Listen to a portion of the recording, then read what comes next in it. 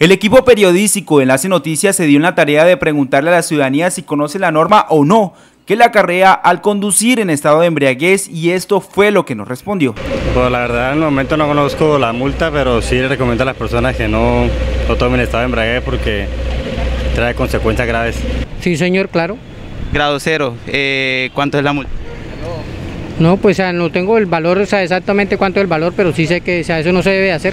Sí, claro, De.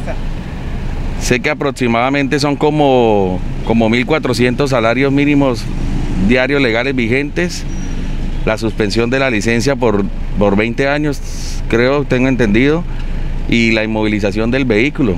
El Código Nacional de Tránsito Terrestre dice que las penas varían según el porcentaje de alcohol por cada 100 mililitros de sangre, así dependiendo del nivel o grado en el que se encuentra el conductor. Las penas serán más o menos multas desde más de 2 millones de pesos hasta 40 millones de pesos, con la suspensión de la libreta de conducción por más de 20 años.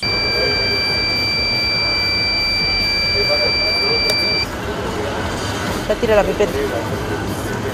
No.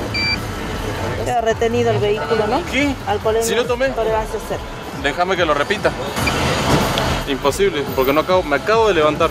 Pero ¿ha conducido en estado de embriaguez cuando departe con su familia o amigos? Esto fue lo que nos respondieron. ¿Pecado en estado de embriaguez? Nunca. No, yo no yo cuando manejo mi motocicleta, yo no consumo alcohol. ¿Ha pecado usted pues en estado de embriaguez? Sí. No.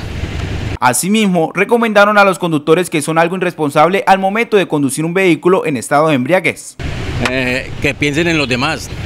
Casi siempre el borracho se asiente y no le pasa nada, matas al pobre inocente que va por ahí, que no va bebido.